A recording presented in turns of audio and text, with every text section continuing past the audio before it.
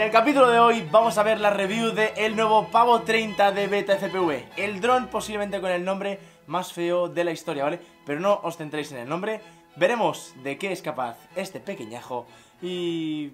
qué poco más. Que comenzamos.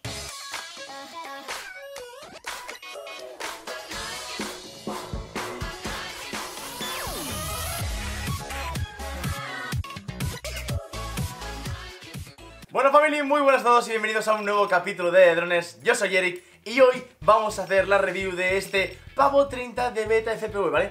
Eh...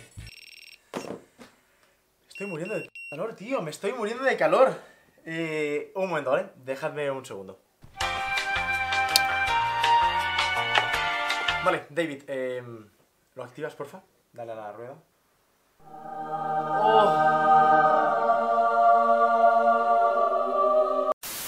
Chicos, como os decía, review de El Pavo 30 de Beta FPV, este pequeño cinedrón de estos que se están poniendo tan de moda. Pero antes de nada, vamos allá con un poco de música y un poquito de b-roll.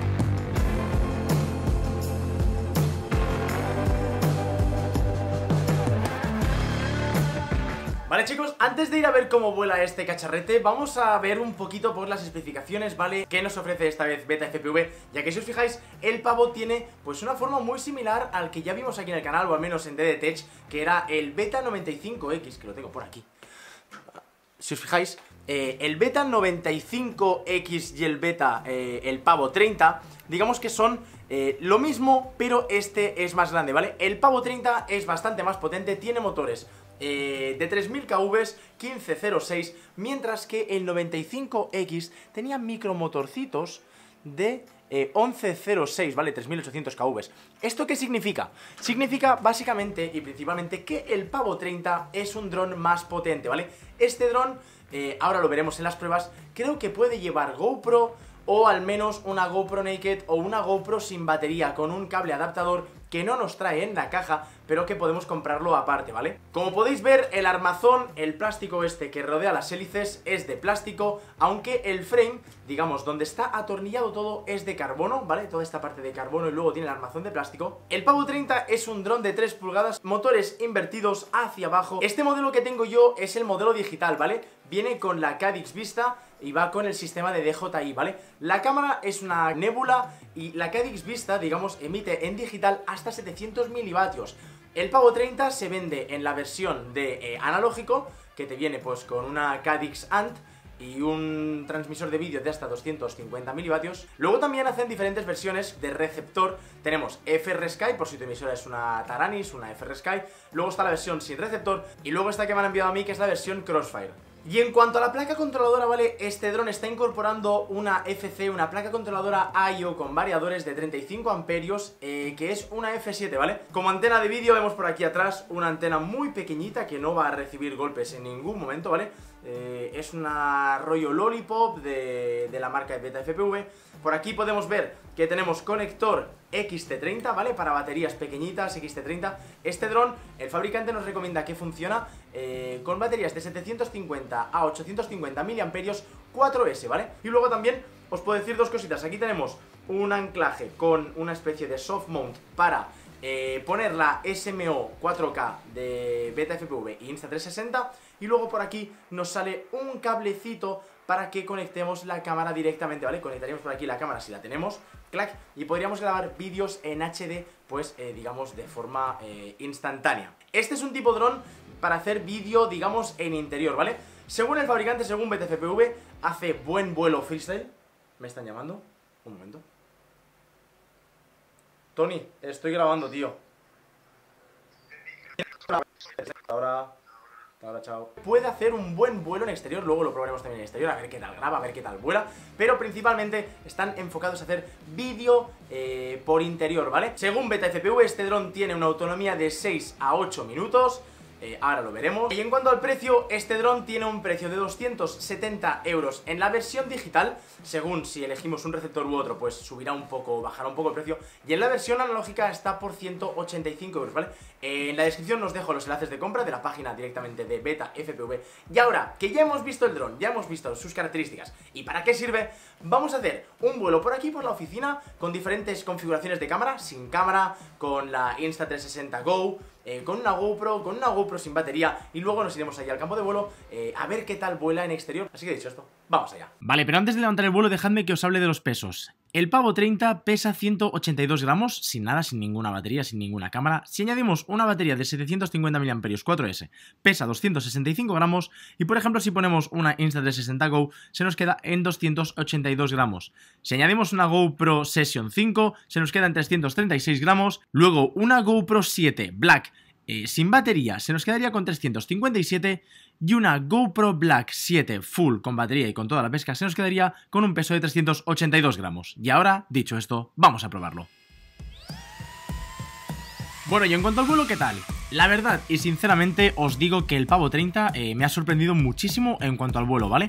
Los motores tienen una potencia de sobras y en esta primera prueba, en la que estoy volando sin cámara, sin nada, simplemente pues lo que estáis viendo es lo que graban las gafas eh, en HD, eh, tengo que deciros que iba tranquilamente a un 20-30% de gas es ultra maniobrable y es ultra resistente, ¿vale? Me he pegado bastantes hostias, bastantes porrazos y he aguantado muchísimo, tampoco han sido hostias a 100 por hora, pero sí que es verdad que he tenido toquecitos y el chasis, el armazón, el protector de motores, digamos que ha aguantado súper bien. Así que en cuanto a potencia y a duración de batería, muy bien, ya que, pues como dice el fabricante, me ha durado entre 6 y 8 minutos, ¿vale? Cada batería. Luego también deciros que la calidad de vídeo es muy buena en todo momento, ¿vale? El HD eh, se nota que va muy, muy bien. Fijaros que yo estaba arriba eh, y luego me he dado cuenta que en mis gafas, en las DJI, no llevaba las antenas normales, solo llevaba las gafas patch.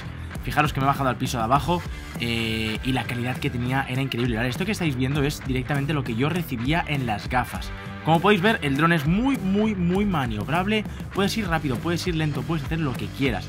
Y eh, está haciendo puertas y realmente muy, muy, muy contento. O sea, realmente me ha sorprendido muchísimo el nivel de pilotaje y de calidad de este dron, ¿vale?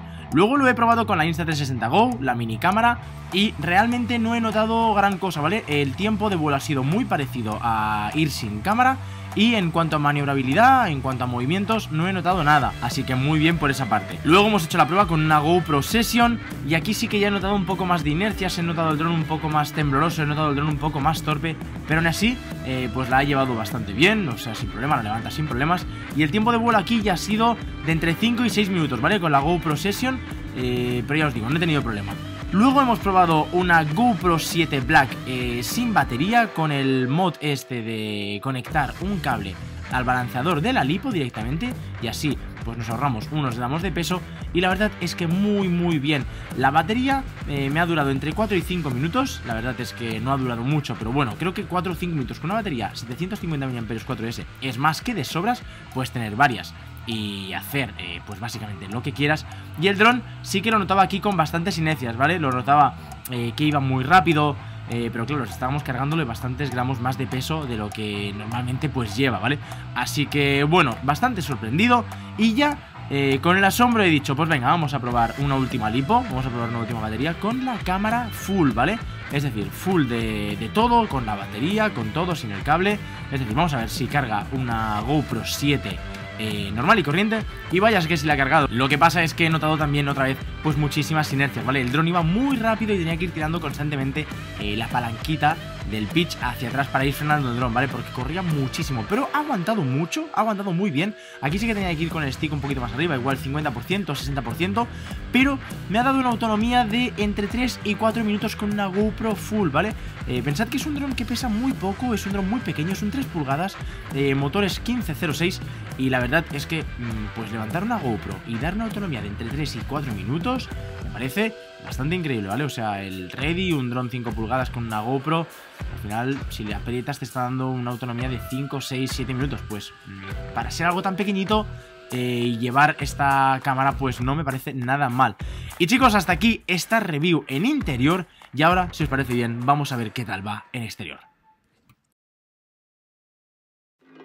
Y bueno chicos, ahora estáis viendo aquí la review, eh, la prueba de vuelo en exterior eh, Cogí el pavo 30, me lo llevé aquí a una rotonda, a un sitio apartado E hice dos pruebas, ¿vale? Lo que estáis viendo ahora es la prueba, digamos, con el pavo 30 eh, desnudo, sin ningún tipo de cámara de acción Estáis viendo lo que graba las gafas en digital Y luego veremos la prueba con la GoPro 7 sin batería y conectada directamente a la lipo, ¿vale? Como la prueba que hemos visto ya en interior ¿Qué deciros? La verdad es que en exterior vuela muy muy bien Aquí, eh, el día este que estaba grabando, pues hacía un poquito de brisa, bastante ligera, y se lo comió muy muy bien, ¿vale? Eh, la autonomía de vuelo en exterior en cuanto a, digamos, el pavo 30 sin ningún tipo de cámara, fue creo que de unos 5-6 minutos, lo cual está muy bien, hizo un vuelo muy tranquilito, hizo un poco de freestyle eh, básico, patatero, y la verdad es que se lo comía todo bastante bien.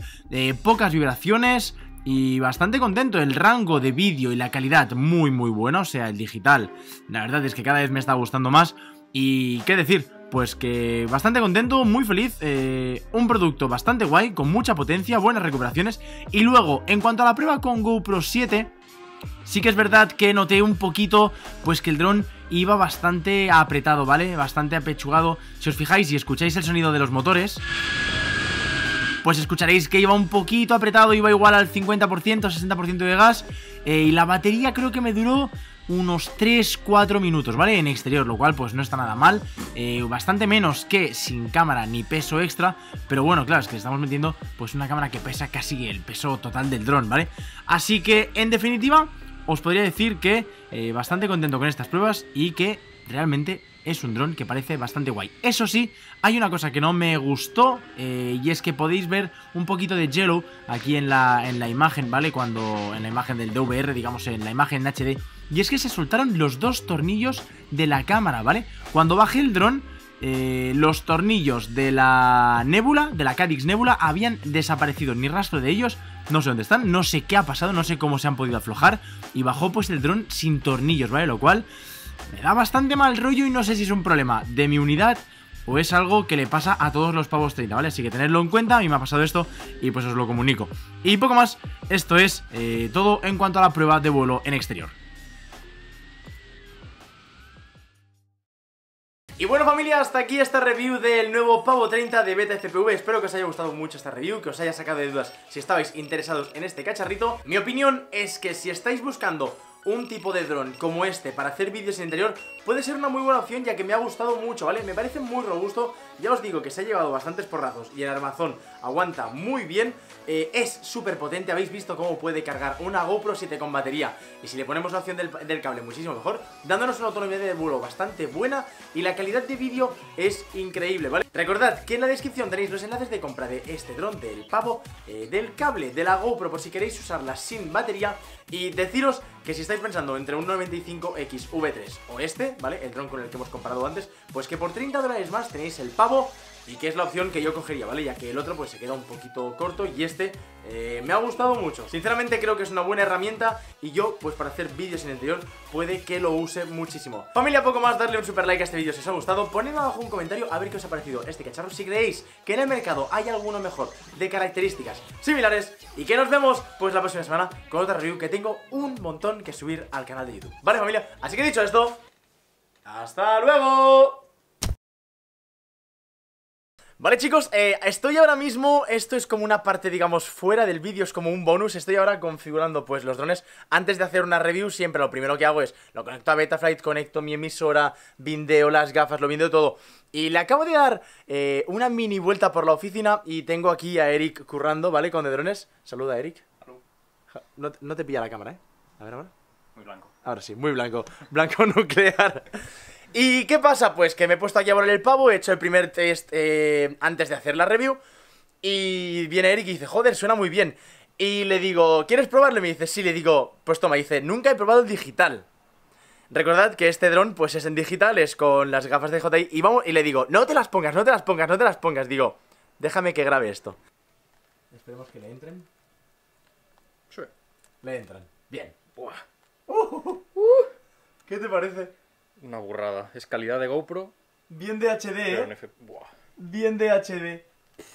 Está flipando. Lo que no sé si está grabando. ¡Hostia! sí, sí, está grabando, ya me ¿Sí? ¿Ves ahí un contador de tiempo? Sí. Vale, perfecto. Qué pasada. ¿Qué te parece? Es calidad de GoPro, pero en tiempo real, en FPV. Bienvenido al mundo digital, chaval. Ve absolutamente todo. O sea, la gozada de pegarte un digital es bastante heavy, ¿eh? Increíble. Increíble. Es, es como. Es como deberíamos haberlo visto Desde el principio. desde el principio. Exacto, es lo que yo esperaba ver cuando compré mi primer dron, tío. Qué burrada. Es que se ve, se ve todo. Los cables, todo, absolutamente todo. Se ve todo ahí en, en- en detalle. En detalle increíble, ¿eh? Inspira confianza. Al verlo todo en analógico no. Exacto, porque no te vas a comer nada que no Claro, veas. claro. Lo ves todo. Impresión sobre el digital. Más lipos, quiero más lipos. ¿Quieres Quiero volar más. Ahora no, ahora no puedes parar de volar en digital. Increíble, increíble. Ahora ya no podrás volar nunca más en analógico, tío. Es como un. Es, es- Increíble, es como ver GoPro, pero en tiempo real. Mm, Se ve todo, absolutamente todo. ¿Qué opinas del pavo 30? ¿Te ha molado? Sí, es como un Tiny, pero con, con ganas, tiene potencia, tiene. O sea, yo lo noto muy potente, ¿eh? En el mini vuelo este de Sí, test. sí, sí. Muy potente, ¿eh? O sea, ahora cuando le haga la prueba con la GoPro y toda la pesca, eh, veremos qué tal. Pero yo creo que esto tirará bien. Al menos con una GoPro sin batería de esas semi-naked. Sí. Así que, nada. Pues, chavales. Hasta aquí, eh, Hasta aquí la opinión de Eric, hasta aquí. eh, mini review de test de vuelo con el crack de Eric y mini review de lo que es el digital. Maldito digital, yo creo que ha venido para quedarse. ¿Verdad que sí? De JI.